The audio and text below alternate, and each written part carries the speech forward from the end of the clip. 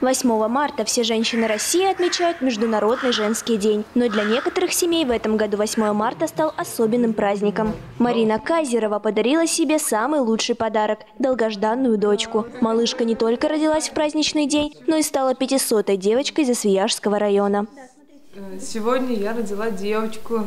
Получается, у меня двойной праздник, 8 марта и дочь. Очень рада этому событию. Ждала очень.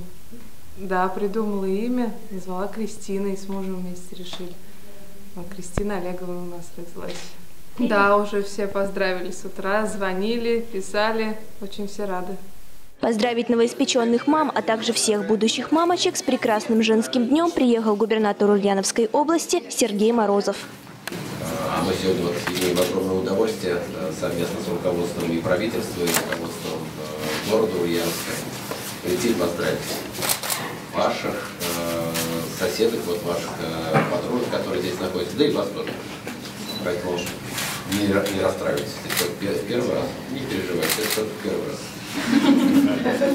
А потом к этому привыкаешь и нормально.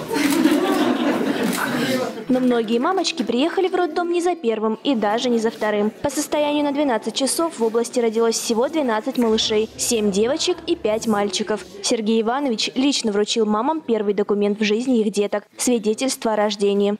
В Ульяновской области 2017 год был объявлен годом сохранения репродуктивного здоровья. Как отметил министр здравоохранения, семьи и социального благополучия Ульяновской области Павел Дегтярь, в соотношении с прошлым годом темпы рождаемости сохраняются на прежнем уровне.